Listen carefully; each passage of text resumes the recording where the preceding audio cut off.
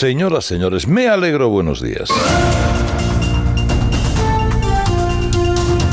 Bienvenidos a este jueves, a este 26 de noviembre del 2020, a las 8 de la mañana, a las 7 en Canarias, en un país que está dentro de un mundo que hoy recuerda notablemente, vamos, hay, hay, que ser de la camándula o de la cartujo para no haberse enterado que se ha muerto Maradona, el astro argentino del fútbol, el hombre eh, que ha fallecido, desde luego, a consecuencia del maltrato que él eh, se había, al que él se había sometido a sí mismo. Eh, un ídolo del fútbol, un fascinante jugador, destrozado por drogas y, y alcohol, reconociendo que era su peor enemigo. Desde luego Maradona era un icono pop y derrochó todo su capital todos sus capitales. Mejor fijarnos en sus goles que en muchos de sus comportamientos. Que descanse en paz. Eh, en esa conmocionada Argentina que hoy le llora. El mundo del fútbol en general le llora. Miren, hoy, damas y caballeros, deberíamos eh, pedirle a la Real Academia Española de la Lengua que ya que ha abierto la mano estos días para incluir nuevos vocablos, incluya uno nuevo que es sanchear. ¿Qué es sanchear? Comportarse, comportarse como Pedro Sánchez. Es decir, el individuo que dice una cosa y hace otra, o que está dispuesto a cualquier esperpento, a cualquier esperpento, incluido el pillaje del Estado, con tal de mantenerse en el poder. Pactando además con todos aquellos que dijo que no lo haría con enemigos declarados de España. Pero que poco importa si el objetivo es estar sentado en el falcón. Eso es sanchear. Aquí ya, miren, eh, una vez se ha visto el final de las negociaciones para los presupuestos del Estado, aquí ya no hay excusas de, a ver, no, los socialistas no serán capaces de hacer eso, no. O mira, hay que votar al PSOE precisamente para que no dependa de los separatistas o de los que quieren aplicar en la economía ideas de comunismo recalentado. No, no, no, no, no. Perdone, no hay excusas. Ha tenido la oportunidad Sánchez gracias al buen trabajo que ha hecho Inés Arrimadas, arriesgándose a abrazarse, por cierto, para dejarle en evidencia. Ha tenido probabilidad de no pactar con quien pacta pero a él le va esa marcha. Lo que queda del PSOE es eso lo que busca. Que no se quiera creer que se está poniendo la estabilidad del país en manos de los que se quieren cargar el país. Bueno, solo tienen que escuchar a Otegui, que por lo menos tiene la sinceridad que le falta a otros. Nosotros queremos mantener abierta la ventana de oportunidad, no suscribimos las tesis de cuanto peor, mejor, cuanto mejor, mejor. Y nosotros seguimos siendo conscientes de que tenemos por delante un proceso que desde nuestro punto de vista nos tiene que permitir crecer y alcanzar la República Vasca. Y eso pasa hoy por decirles sí, esta es nuestra propuesta, a estos presupuestos. Bueno, están en el acuerdo con Sánchez porque Sánchez es la vía más rápida para desmantelar España.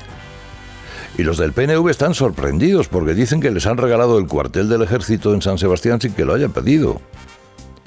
¿Y esto se pondrá colorado el PSOE después de que Otegui les haya dejado en evidencia? Pues no. Sale Carmen Calvo y dice que claramente el gobierno está encantado de pactar la propuesta de Esquerra para subir los impuestos a la gente que vive en Madrid requiere altura política. El Partido Socialista la tiene. Hace tiempo que lo venimos diciendo. Estamos al inicio de algunas decisiones importantes que le garanticen a los españoles que sea cual sea el territorio, su situación tributaria no puede ser de una asimetría que plantee deslealtad entre los territorios entre sí. Muy bien, adelante. Eso se llama armonizar. Armonizar es el eufemismo que utiliza toda esta izquierda para decir que va a subir los impuestos. ¿Por qué no armonizan la baja? Porque la voracidad, las ganas de abrasar al ciudadano, no se lo permite. Para que pueda vivir toda esa cuadrilla de vividores y mantener abiertos chiringuitos y mamandurrias con el dinero que ganamos los demás. Es decir, para Carmen Calvo, vean ustedes el esperpento, la amenaza contra la unidad de España es la Comunidad de Madrid. No Tegui y su República Vasca, no los golpistas catalanes. Quien rompe la unidad de España es la Comunidad de Madrid. Y Pedro Sánchez permite que la política tributaria de la Comunidad Autónoma de Madrid la decida Esquerra Republicana de Cataluña. O sea, ahora es Esquerra quien garantiza la unidad de España. Menos mal que tenemos a Otegui y que tenemos a Rufián. A Otegui diciendo que no se ve un gobierno así desde la Segunda República. Con razón. Con razón. Esperpéntico es el recuento de las cesiones de Sánchez que el catalán desaparezca como idema vehicular, que el ejército se vaya de Loyola, que Esquerra eh, decida la política fiscal de la Comunidad de Madrid, que los golpistas sepan que van a cambiar la ley ad hoc para ellos, para que salgan a la calle. Y además, por cierto, que dispare inversiones en Cataluña por cima incluso de lo que reconoce su estatuto. Luego del concierto vasco y del Navarro, de, ese no, de eso no dice nada, les parece estupendo. Miren, los impuestos, eh, el, Estado, la Administración Central del Estado, transfiere a las comunidades una determinada gestión de impuestos, sucesiones, patrimonio, eh, etcétera, etcétera. Y cada comunidad autónoma puede aplicarlas o no, al igual que sus propias figuras impositivas. La Comunidad Autónoma de Madrid no lo hace. Otras no, otras prefieren abrazar literalmente a su gente. Abrazarles. Bueno, Madrid, gracias a esa política, al hecho de que, hombre, no estén abrasados tampoco por la burocracia asfixiante que se vive en España, es una locomotora económica.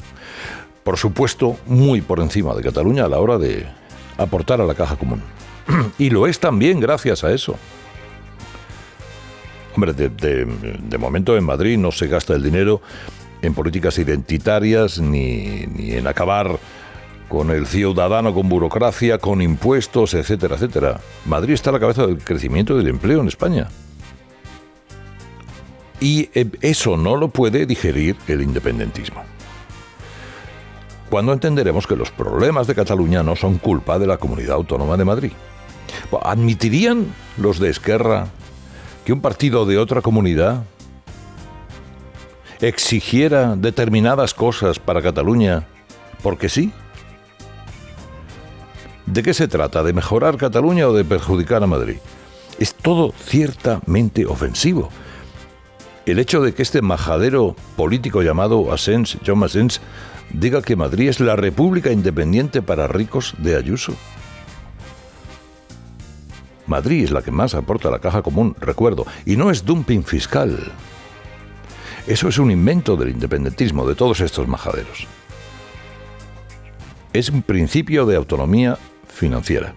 Pero como Sánchez sanchea, esa gran desgracia que se llama Pedro Sánchez, se dedica a sanchear, nos encontramos en eso. Y que se vaya cuidando alguna que otra comunidad. Por ejemplo, desde luego se quiere destrozar la comunidad de Madrid. Se usa Esquerra como excusa. Se lo lleva guardado Sánchez desde hace tiempo. Que se cuide Andalucía. Que también se va a ver afectada de rebote, por ejemplo. Oiga, bajando impuestos en Andalucía se ha recaudado 530 millones más que en el ejercicio anterior que supongo que es una cosa que también le debe molestar mucho a Gabriel Rufián. Y va a recibir Andalucía 200 millones menos que Cataluña en inversiones del Estado. Con Sánchez. Sancheando. Armonización fiscal. Vamos a declarar ahora la Guerra Santa a favor de la armonización fiscal. Armonización lingüística no Armonización de derechos entre españoles tampoco. Pero armonización de impuestos sí. Porque nos hemos dado cuenta de que si ahogamos a la gente de los territorios donde vivimos y otros nos ponen en evidencia demostrando que bajando impuestos lo hacen mejor, no lo podemos soportar. Con lo cual, vamos a sanchear.